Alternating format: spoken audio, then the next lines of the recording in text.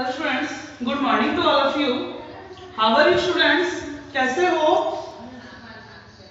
now today we will discuss about next topic features of good table हमने कल क्या किया था कि what is the meaning of tabular presentations and components of table कि फिर how to frame a table in a actual forms actual forms में table को कैसे फॉर्म करना है?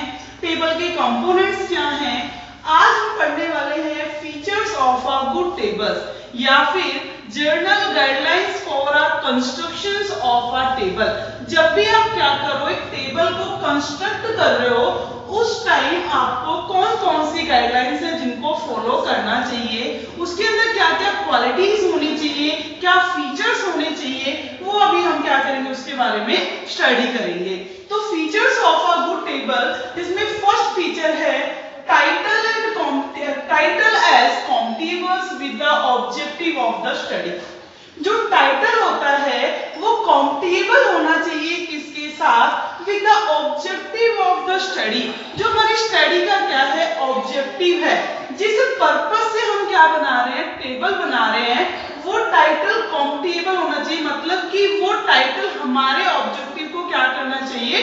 सूट करना चाहिए। कल मैंने कहा था कि जो सेकंड कंपोनेंट है टाइटल जो टाइटल है must be should must sorry title should be clear understandable कैसा होना चाहिए? क्लियर होना चाहिए अंडरस्टैंडेबल होना चाहिए। दूसरा match with the objective of the study और हमारी स्टडी के ऑब्जेक्टिव से वो क्या करना चाहिए? मैच करना चाहिए। यदि वो हमारे ऑब्जेक्टिव को मैच नहीं करता तो क्या नहीं होगा? जो टेबल का जो टाइटल है, वो हमारे लिए क्या नहीं होगा? बेटर नहीं होगा। तो टाइटल है, वो काउंटेबल ही होना चाहिए। ठीक है? दूसरा है कंपेरिजन कंपेरिजन क्या है? इट मींस कंपेरेबल्स जो भी उस टेबल के अंदर जो सेल्स होते हैं, क्या होते हैं? सेल्स होते हैं आइटम्स है या बॉडी है, उसके अंदर जो भी इंफॉर्मेशन गिवन होती हैं, वो कंपेरेबल नेचर की होनी चाहिए, जिसे हम किसी दूसरी टेबल के साथ क्या कर सकें? कंपेयर कर सकें। क्लियर हो गया? कि जो बॉडी है फ़ील्ड है वो किस टाइप से हो कि दूसरी टेबल के साथ क्या किया जा सके, उसे कंपेयर किया जा सके। वो कंपेरेबल नेचर की होनी चाहिए, जिसको कंपेरिजन पॉसिबल हो। Third is special emphasis special emphasis मतलब कि टेबल के अंदर कुछ आइटम्स की क्या होती है अपनी अपनी इंपोर्टेंस होती है फॉर एग्ज़ाम्पल जैसे कि फ़ूड ग्रेन है, वो स्टफ्स हैं हेडिंग ऑफ़ रो है ईयर्स हैं, वो हेडिंग ऑफ़ कॉलम है तो वो किसमें मेंशन होने चाहिए? बोल्ड लेटर के अंदर होने चाहिए डार्क अंदर होने चाहिए, जो अलग से ही शो हो कि ये क्या है स्टफ्स है, ये क्या है हेडिंग है, ये हेड नोट है, ये फुट नोट है। ये सेल्स बन रहे हैं, यहाँ पर ये सोर्सेज है। मतलब कि जिस आइटम की, जहाँ जिस कंपोनेंट्स की, जहाँ जितनी इंपोर्टेंस है, उसको उसी इंपोर्टेंस के अकॉर्डिंग वहाँ पर लिखा जाना चाहिए, जो बहुत ज़्यादा ज़रूरी है। तो टाइटल कॉम्पिटेबल नेचर का हो, जो ऑब्जेक्टिव को शूट करे कंपेरिजन बॉडी के अंदर जो आइटम्स हैं, जो फ़ील्ड है, जो इंफॉर्मेशन है कंपेरेबल नेचर की हो, जिसको कंपेयर कराया जा सके जिस भी कंपोनेंट की जितनी इंपॉर्टेंस है, उसी इंपॉर्टेंस के अकॉर्डिंग उसको टेबल के अंदर शो किया जाना चाहिए। फोर्थ इज़ आइडियल साइज़ जो टेबल है टेबल का क्या होना चाहिए? आइडियल साइज़ होना चाहिए। आइडियल साइज़ मींस ना तो वो बहुत ज़्यादा बड़ी टेबल हो और ना ही बहुत छोटी। बड़ी तो मतलब इतनी वास्ट भी ना हो कि आप उसके अंदर इंफॉर्मेशन को ढूंढो और आपको बहुत ज़्यादा वो बोरियत लगे। इतनी बड़ी भी नहीं होनी चाहिए, बहुत छोटी भी होनी चाहिए कि वो कंप्लीट इंफॉर्मेशन को ही प्रोवाइड ना करवा पाए। तो कहते आइडियल साइज़ टेबल का होना चाहिए। तो इसके लिए, आइडियल साइज़ के लिए क्या करें अगर आइडियल साइज़ आपको टेबल का चाहिए तो आप उसको पहले रफ स्केच बनाकर देख। लो क्या बनाकर देख? लो एक रफ स्केच बनाओ, उसके अकॉर्डिंग दोबारा जब आपको एक्चुअल में ओरिजिनल टेबल बनानी उस रफ स्केच की हेल्प से आप क्या कर सकते हो? आइडियल साइज़ की टेबल को फ्रेंड कर सकते हो। तो आइडियल साइज़ होना चाहिए टेबल का। क्लियर हो गया? फिर है स्टफ्स तो स्टफ्स कहते हैं कि जो स्ट्रब्स हैं, क्या होती है ये रो ऑफ़ हेडिंग स्ट्रब्स क्या होते हैं? रो ऑफ़ हेडिंग कि जो रोज है, उनकी हेडिंग को आप स्ट्रब्स कहते हो। If stubs are long stubs कैसे हैं? लॉन्ग इट मींस हेडिंग और लॉन्ग है तो आप क्या करोगे? स्ट्रब्स को हम किसमें लिखते हैं? यहाँ पर लिखते हैं। तो आपको राइट हैंड साइड क्या करना है, उसका यूज़ करना है। क्या करना है राइट हैंड साइड उसका यूज़ करना है। आपको क्या करना है, उसको इस तरह से ना यूज़ करना किसमें राइट हैंड साइड में क्या करो? आप स्ट्रब्स का यूज़ कर सकते हो। ऐसा नहीं है कि आपके जो कंप्लीट स्टेप्स हैं इसी फॉर्म्स के अंदर होंगे। क्लियर हो गया? फिर है use of zero must be used in uh, zero must be used with the informations of quantitative informations only. यदि आप क्वांटिटेटिव इंफॉर्मेशन दे रहे हो तभी आप ज़ीरो का यूज़ करोगे। अदरवाइज़ ज़ीरो आप यूज़ नहीं करोगे। ध्यान रखना टेबल के अंदर मैंने कल कहा था कि ज़ीरो यूज़ क्यों नहीं करते? मैं आगे बताऊँगी। तो यहाँ है कि ज़ीरो को केवल आप क्वांटिटी पर्पज से यूज़ कर सकते हो टेबल में, जैसे कि आपको हेड नोट में टर्म में बताना लैक में बताना है, या फिर हम कहें कि थ्री टर्म्स के ज़ीरो ज़ीरो आपने यहाँ क्या कर लिया यूज़ कर लिया। बट जब आप क्या बता रहे हो सेल्स के अंदर इंफॉर्मेशन बता रहे हो, कोई आपके पास इंफॉर्मेशन अवेलेबल नहीं है, कोई इंफॉर्मेशन अवेलेबल नहीं है तो वहाँ आप ज़ीरो यूज़ नहीं कर सकते। Because zero means zero availability of data zero का मीन्स क्या है? Zero availability of data data की अवेलेबिलिटी नहीं है आपके पास। ज़ीरो की क्या नहीं है? एवरेज मीन्स क्या नहीं? आपके पास डाटा अवेलेबल नहीं है। या फिर हम ये कह सकते हैं ज़ीरो का मतलब यहाँ पर क्या हो गया? कि सपोज़ यहाँ पर आपने डाटा किसके लिए? वीट के। ठीक यहाँ ईयर क्या है? 1995 आपने ज़ीरो कर लिया। It means in 1995 zero production of wheat wheat का प्रोडक्शन कैसा है? ज़ीरो प्रोडक्शन है। तो यहाँ ऐसा पॉसिबल नहीं कि 1995 के अंदर वीट का प्रोडक्शन ही नहीं हुआ हो। ऐसा पॉसिबल नहीं है। और अगर आपने यहाँ ज़ीरो यूज़ कर लिया तो वो इसी चीज़ को शो कर रहा है कि ज़ीरो प्रोडक्शन है। तो आपको उस ज़ीरो से बचने के लिए किसका यूज़ करना होगा? आप यहाँ हाइफन साइन का यूज़ कर सकते हो। डैश का यूज़ कर लो हाइफन साइन का यूज़ कर लो। इसका मतलब है नॉट अवेलेबिलिटी ऑफ़ डाटा आपके पास क्या नहीं है? कोई भी डाटा की अवेलेबिलिटी नहीं है। हाइफन साइन यूज़ करो, उसकी जगह बट ज़ीरो यूज़ नहीं करनी।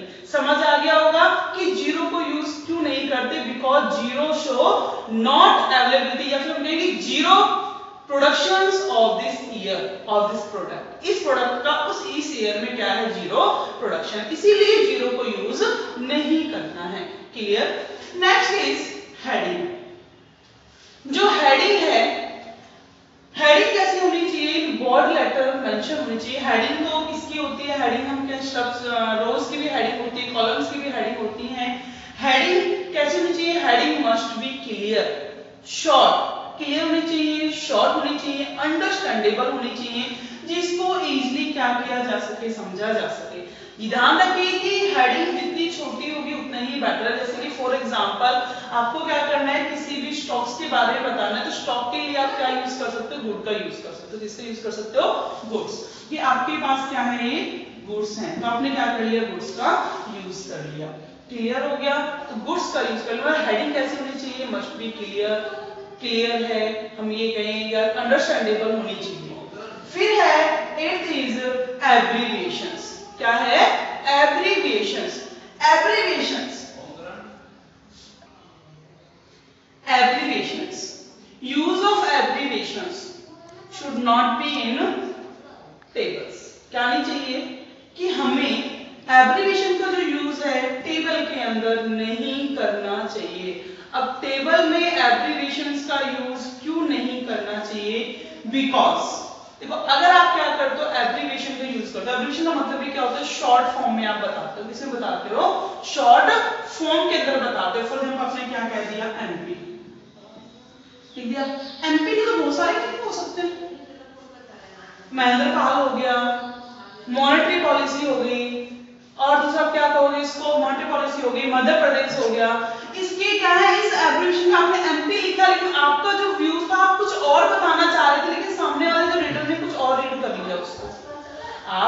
बताना कुछ और चाह रहे थे, सामने वाले रीडर ने उसको कुछ और क्या कर लिया रीड कर लिया? गलती किसकी है? आपकी गलती है, क्योंकि आपने एब्रीविएशन को यूज़ किया है। किसको यूज़ किया है? एब्रीविएशन को यूज़ किया है। कई बार हम देखते हैं कि जी ओ जी ओ वी टी को हम गवर्नमेंट के लिए यूज़ कर लेते हैं। किसको यूज़ कर लेते हैं? जी ओ वी टी तो कहते हैं ये यूज़ नहीं होने चाहिए क्योंकि क्योंकि इनके बहुत सारे क्या हम कहते हैं कई जो एब्रीविएशन होते हैं उसके बहुत ज़्यादा क्या हो जाते हैं मीनिंग हो जाते हैं कि जो इंफॉर्मेंट है या ये जो टेबल जो इन्वेस्टिगेटर जो बना रहा है वो आपको इंफॉर्मेशन कुछ देने वाला हो लेकिन रीडर उसको कुछ और ऐसा कर ले एब्रीविएशन से आपको बचना चाहिए तो ध्यान रखें कि वह एब्रीविएशन का यूज़ ना करके क्या यूज़ करना चाहिए, उसकी कंप्लीट जो वैल्यू है, हम ये कहें कि उसकी कंप्लीट इंफॉर्मेशन है कंप्लीट नेम के साथ ही इंफॉर्मेशन देनी चाहिए टेबल के अंदर नॉट यूज़ एब्रीविएशंस क्लियर हो गया? एब्रीविएशंस के बाद है फुटनोट फुटनोट क्या था? Footnote is the supplementary of field items cells जो फुटनोट था वो फ़ील्ड का आइटम्स का सेल्स का, क्या था? Supplementary it means all information which are not available in field तो फुटनोट कैन बी क्लियर जो इंफॉर्मेशन टेबल के अंदर गिवन नहीं थी फुटनोट क्या कर सकता था? उनको कंप्लीट कर सकता है। ये यूज़ होता है फुटनोट का। और फुटनोट हमेशा किसके अबाउट ग्लो होता है? ग्लो द टेबल होता है। ध्यान रहे, यदि आपको फुटनोट की ज़रूरत है तो ही आप फुटनोट को यूज़ करो यदि आपको लगता है कि नहीं? ऑल इंफॉर्मेशन है आपके फ़ील्ड के अंदर टेबल के अंदर सारे इंफॉर्मेशन है तो आपको फुटनोट यूज़ करने की ज़रूरत नहीं है। यदि फिर भी आप क्या कर रहे हो फुटनोट को यूज़ कर रहे हो तो ध्यान रहे, जिसके लिए, जिस पर्पज से आपने फुटनोट को यूज़ किया है ना वो आपको कंप्लीट क्या कर देना है क्लियर कर देना है, क्योंकि जो इंफॉर्मेशन आप टेबल के अंदर नहीं बता पाए, मैंने डैश यूज़ किया स्टार यूज़ कर लिया तो फुटनोट में बताना कि ये स्टार है, किस चीज़ को इंडिकेट कर रहा है? नॉट अवेलेबिलिटी ऑफ़ डाटा है, या फिर अभी आप उसको बताना नहीं चाह रहे मतलब रीजन क्या है इस स्टार को यूज़ करने का? वो आप किसके अंदर बताओगे? फुट फुटनोट के अंदर बताओगे। ज़रूरी है, यदि सारे इंफॉर्मेशन टेबल में आ गई तो फुटनोट को बनाना ज़रूरी नहीं है। यदि फिर भी फुटनोट की ज़रूरत है तो ध्यान रहे फुटनोट ऐसा होना चाहिए जो टेबल को क्या कर सके कंप्लीटली क्लैरिफाई कर सके। ओके फुटनोट्स के बाद है यूनिट्स जब भी आप क्या इंफॉर्मेशन दे रहे हो आइटम्स को बता रहे हो। तो आइटम्स की यूनिट क्या है? उन आइटम्स को किसमें मेजर कर रहे हो? इन टन यूज़ कर रहे हो, इन लैख है, इन करोड़ है, या फिर हम ये कहें टन भी है। किस चीज़ में आप इसको यूज़ कर रहे हो? वो यूनिट्स होती हैं। और यूनिट्स हमेशा किसमें मेंशन होती हैं? हेड नोट में। किसमें मेंशन होती है? हेड नोट में। और हेड नोट क्या था? Headnote is the supplementary of title means title में आप बता नहीं पाए, आपने हेड नोट में क्लियर किया। और हेड नोट किसके लिए ही यूज़ होता है? मेनली वो यूनिट्स के लिए ही यूज़ होता है कि यूनिट्स के अंदर आप क्या बताना जो आइटम्स है वो आपके किस यूनिट्स के अंदर मेंशन है। क्लियर हो गया? टोटल जो भी हमारे क्या होते हैं स्टफ्स का टोटल होता है कॉलम्स का टोटल होता है, वो टोटल करना ज़रूरी है। क्योंकि कंप्लीट इन्फॉर्मेशन चाहिए तो टोटलिंग क्या है स्टफ्स का टोटल किया आपने एक साइड किसका टोटल कर लिया आपने कॉलम का क्या कर लिया टोटल कर लिया, कि टोटल वीट का जैसे यहाँ था वीट का प्रोडक्शन कितना है? 1990 1995 के अंदर total food in the production कितना है? वीट का प्रोडक्शन कितना है? इन तीनों साल के अंदर फिर वीट का कितना है? तो कहते हैं कि कॉलम का भी टोटल होना ज़रूरी है और स्टफ्स का भी टोटल होना ज़रूरी है। टोटलिंग ज़रूरी होती है। Percentage and ratio. Percentage and ratio should be used in table जो परसेंटेज है रेशियो है, उसको भी क्या करना चाहिए? यूज़ करना चाहिए। अब परसेंटेज रेशियो को यूज़ करने क्यों करना चाहिए? क्योंकि अगर आप परसेंटेज या रेशियो में बताते हो, इससे और भी इंफॉर्मेशन क्या हो जाती है? क्लैरिफाई हो जाती है। कि जैसे ये कहा कि हमारे यहाँ पर पॉवर्टी कितनी है? 22 परसेंट पॉवर्टी है। मतलब कि जो पर्सन हैं 22 परसेंट पर्सन कैसे हैं जो बिलो पॉवर्टी लाइन है। आपने पॉवर्टी को किसमें डिस्क्राइब किया, इन परसेंटेज किया है? उसको याद रखना भी बहुत कैसा है इजी है हमारे लिए। बट वही अगर हमें क्या बताते डेटास को बताया जाता तो बताया जाता तो वो हमें याद रखने का नहीं हो पाते पॉसिबल नहीं हो पाते। तो जहाँ तक पॉसिबल हो इसके लिए परसेंटेज या रेशियो का आप यूज़ कर सकते हो। जो टेबल है, वो आपके लिए और भी क्या हो जाएगी? शॉर्ट हो जाएगी अंडरस्टैंडेबल हो जाएगी और इजी हो जाएगी। और रीडर उसको इजीली क्या कर सकता है? अंडरस्टूड कर सकता है। अप्रोक्सीमेशन एक्सटेंट ऑफ़ अप्रोक्सीमेशन अभी एक्सटेंट ऑफ़ अप्रोक्सीमेशन क्या है? देखो, जब भी हम आइटम्स हैं या सेल्स के अंदर इंफॉर्मेशन को शो करते हैं तो हम काफ़ी टाइम्स अप्रोक्सीमेशन का क्या करते हैं यूज़ करते हैं कि दिस इंफॉर्मेशन अप्रोक्सीमेट इतनी है अप्रोक्सीमेट इतनी है। मतलब अप्रोक्स का क्या करते हैं यूज़ करते हैं। लेकिन अप्रोक्स के का मींस क्या है कि this information is not clear ये इंफॉर्मेशन क्या नहीं है क्लियर नहीं है। अब क्लियर करने के लिए हमें क्या करना होगा? इस अप्रोक्सीमेशन के लिए, इस अप्रोक्सीमेशन को और क्लियर करने के लिए या तो आप हेड नोट का यूज़ करो जो which is above the table जो टेबल के अबव होता है, या फिर आप किसका यूज़ करो? फुट नोट का यूज़ करो। क्योंकि हेड नोट भी आपकी इसमें हेल्प कर सकता है फुट नोट भी आपकी हेल्प कर सकता है। जैसे मैंने ये कहा कि इंफॉर्मेशन हैं, ये होगा 22 पॉइंट समथिंग कुछ होगा। जैसे मैं कहा जो पॉवर्टी है वो कितनी है? मैंने कहा 22.6 समथिंग कुछ है। मैंने इतना अप्रोक्स कहा, कितना अप्रोक्स है? तो मैं क्या करूँ ओनली 22 मैंने क्या कर लिया 22 परसेंट पॉपुलेशन कैसी है बिलोंग पॉवर्टी लाइन है या पुअर है। तो अप्रोक्सीमेट क्या यूज़ किया यहाँ पर मुझे बताना होगा, इन पॉइंट्स में है या फिर फुट नोट में क्लियर करना होगा कि यहाँ पर क्या किया मैंने अप्रोक्स यूज़ किया है। ये क्या डाटा है जो वो क्या नहीं है कंप्लीट क्लियर नहीं है। इसका मतलब इंफॉर्मेशन मुझे भी क्लियर नहीं है 22 अप्रोक्स मैंने क्या कर लिया इसका यूज़ कर लिया। ऊपर नीचे इंफॉर्मेशन हो सकती है बट इसको बनाने में, इसको क्लियर करने में हेल्प कौन कर रहा है? हेड नॉट हेल्प कर रहा है या फिर फुट नॉट हमारा क्या कर रहा है? हेल्प कर रहा है। क्लियर हो गया? तो ये एक्सटेंड ऑफ़ अप्रोक्सीमेशन की हेल्प कौन कर रहा है? Footnote and head not फिर सोर्सेज ऑफ़ डाटा जो कैसा होता है? बिलोन फुट नॉट कहाँ होता है? मेंशन टेबल के अंदर। Below footnote footnote के भी नीचे होता है। इट मीन सोर्स सोर्स क्या करता है? क्लैरिफाई करता है। These information where these information taken की इंफॉर्मेशन कहाँ से ली गई है? कहाँ से ली गई है? प्राइमरी सोर्स से ली है सेकेंडरी सोर्सेज से ली है सेकेंडरी सोर्सेज में भी आपने पब्लिश सोर्सेज से ली है अनपब्लिश सोर्सेज से ली है। ये इंफॉर्मेशंस आपने कहाँ से गैदर की हैं? ये कौन बताता है सोर्सेज ऑफ़ डाटा और ध्यान रहे सोर्स ऑफ़ डाटा मेंशन होना बहुत ज़रूरी है क्योंकि ये हमारी टेबल की उस पिक्चर्स को शो कर, उसकी एक्टिविटी को बताता है। यदि आपने क्या किया पब्लिश सोर्सेज का यूज़ किया है इट मींस आपकी जो इंफॉर्मेशन है वो कैसी अच्छी है। इट मींस जो सोर्सेज है सोर्स ही बता देते हैं कि हाँ जो इंफॉर्मेशन टेबल हमें दे रही है, वो हमारे ट्रू भी है या फिर फॉल्स है, सही है या गलत है। कौन बता देगा सोर्सेज ऑफ़ डाटा उसको क्लैरिफाई कर देंगे। क्लियर हो गया?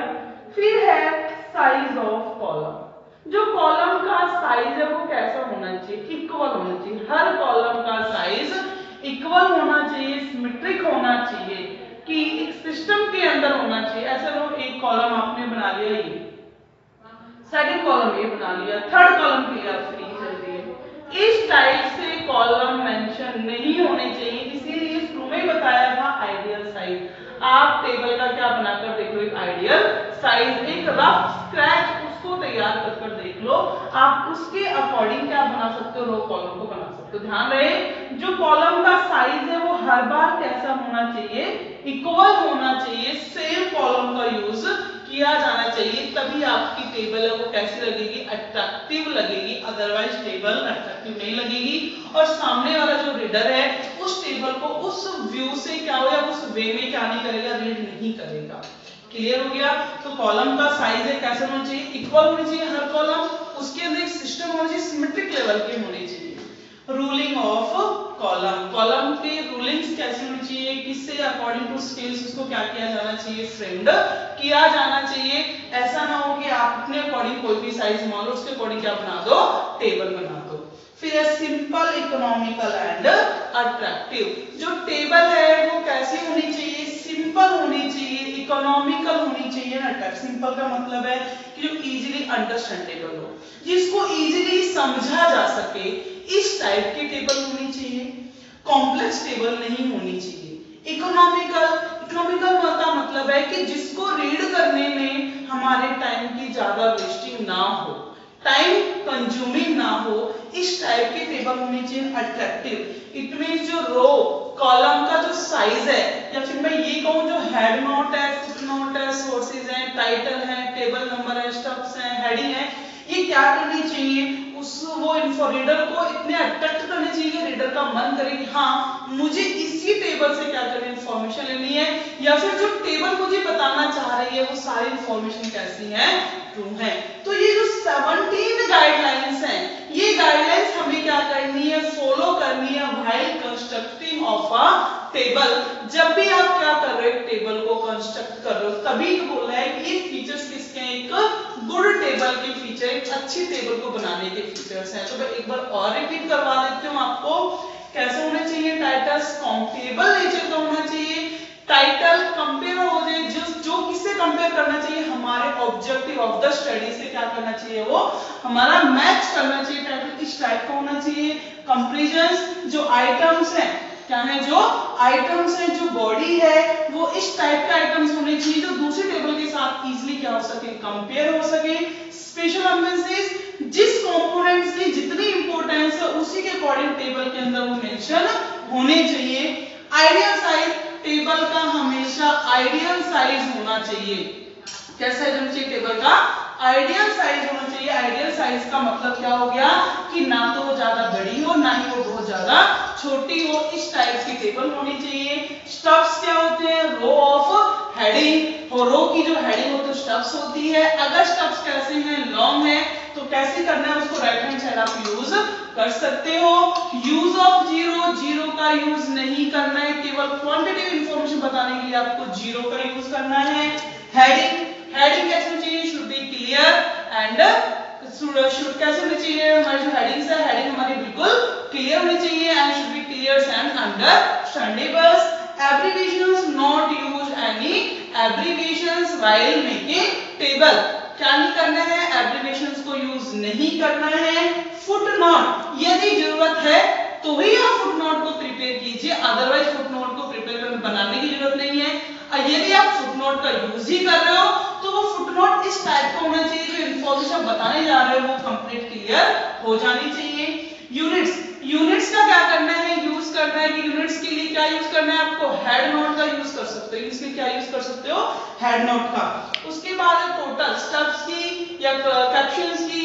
क्या होनी चाहिए? टोटलिंग होनी चाहिए।